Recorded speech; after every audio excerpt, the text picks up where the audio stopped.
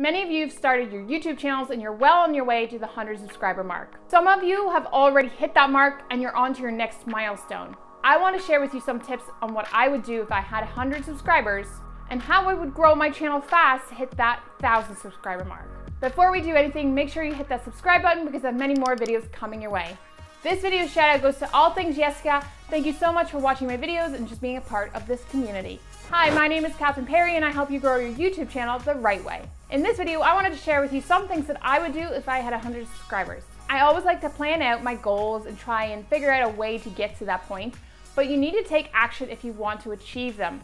So here are some things that I would do to hit that next milestone. Make sure you watch this video to the very end because there's lots and lots of good tips here. So number one is start commenting on other YouTubers' channels.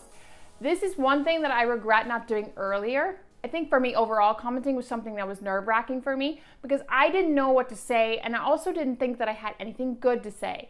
But I had the wrong mindset and I really wished I had started earlier commenting and connecting with people on other people's YouTube videos and channels. I think commenting is so valuable because you're giving some insightful information out, you're giving your you're sharing your thoughts on what you learned from the video. And it's a great way to connect with the YouTuber that created the video and the YouTubers that were, are within the community. So this is one thing that I highly recommend that you start doing as soon as you start your channel. Number two is go live.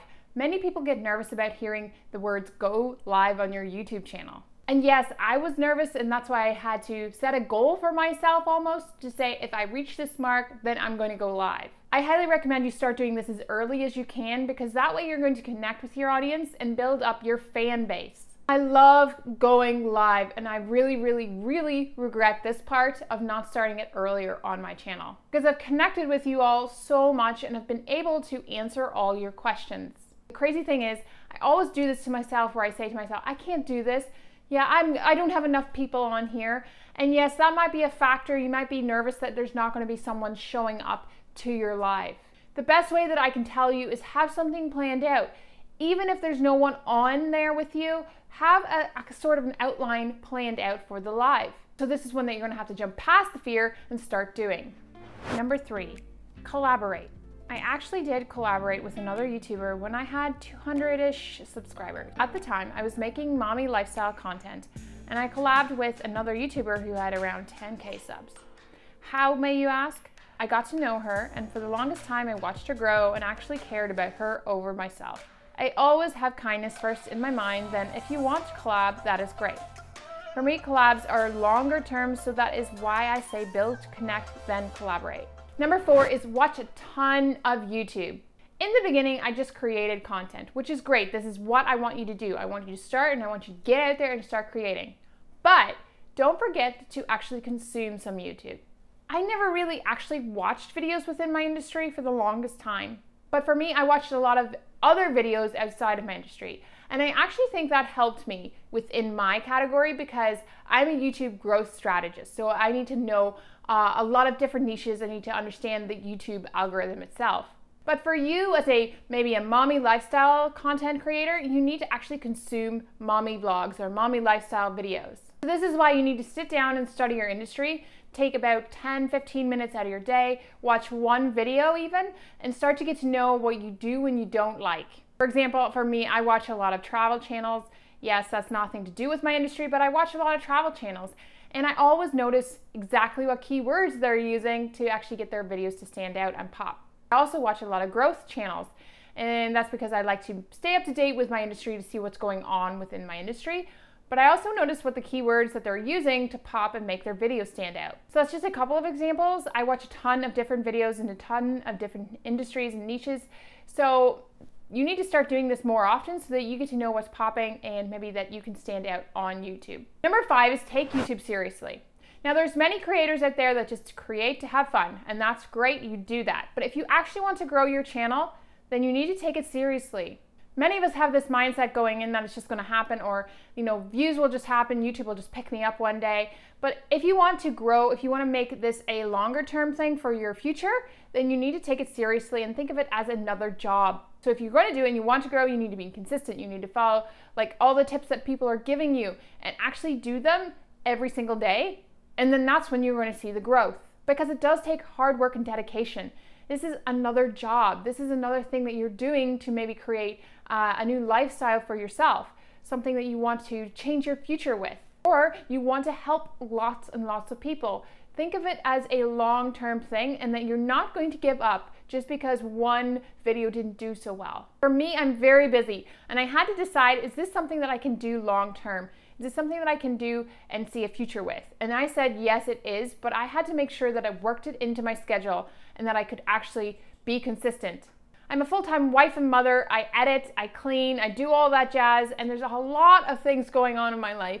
But I made the time to make sure that I could actually do YouTube. Comment below how long you've been creating videos. I've been creating videos for four years and I just love it, but I would love to know how long you've been creating videos. Comment below and let me know.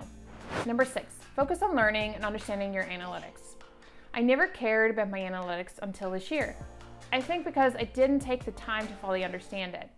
It was just confusing and overwhelming, and at the time I just thought, oh, this is just numbers and it doesn't really make sense, so it doesn't mean anything. That means I ignored the important part of YouTube that was going to help me grow my channel. This is something I highly recommend you dive into and work hard at. Don't blow over this part, it is very important. Number seven is focus on your audience and what they want. I wished I started focusing on what my audience wanted more because I just did videos for the heck of it. In the beginning, many of us just create and that's great, but you need to actually focus on what your audience is enjoying. Many of the pro tubers that I've shared on my channel before, you can see that they've actually focused in on topics that their audience loves. Yes, make sure you're doing content for yourself so that you can keep that creative spark going, but make sure you're creating content for your audience because they are the viewers, they're the ones watching your videos, and they are the ones that are going to make your channel grow. Number eight, make more content. I would make way more content that gave out lots of value to my audience. I think in the beginning we tend to hold back because we think we may be sharing too much or have a fear that people are hating on us. But if I could go back, I would tell myself to create more content and do better with each video I create. Number nine, be myself and not like others. This one is hard. I used to try and act like others, which actually hurt my confidence and my channel as a whole. One, because people didn't feel a connection, and two, I didn't feel a connection. This is by far the hardest thing to do. Look at the YouTubers that stand out. Kelly Stamps, Catherine Manning, Casey Neistat. They all have their own channel based around a topic, but also around their personalities. Number 10 is a secret tip that I like to share is research topics and find videos that have high views but have not been done in a long time. Let me explain. So basically what you need to do is you need to go onto your YouTube and go to search. Search at the top. This is a topic that is just an example that I'm going to share with you. You don't have to use it for your own videos. This is just an example. So search for the topic, a very broad topic, on how to make cake pops, for example. This is so broad and so open that there's going to be a lot of search results for this, but we just want to search and see what comes up. We're not looking at keywords right now. We're not looking at anything else. We're just looking to see what comes up. So right here at the top, you'll see the videos that are doing really well, that are ranking in search, that are popular on YouTube. So we look at this and we see 3.1 million views, we see eight years, and we're going to click into them and see how many subscribers they have. So right here you see that they have 922k subscribers and what I want you to do is find a video that has more views than subscribers because that way you can see exactly what videos are standing out within cake pops. So that is a potential topic that we could use for our cake pops. There is this one. Let's look at this one. It says how to make cake pops, easy homemade cake pop recipe. Now we look at this and it was done a year ago. So what you want to do is you want to find videos that have been just done a year ago that have a lot of views. We'll see how many views to subscribers they have. So let's click into them and you see that they have 153k subscribers. So with that being said, let's go back to the video and see exactly what views to video, we views to subscribers we have. So they have 1.9 million subscribers and 153k subs.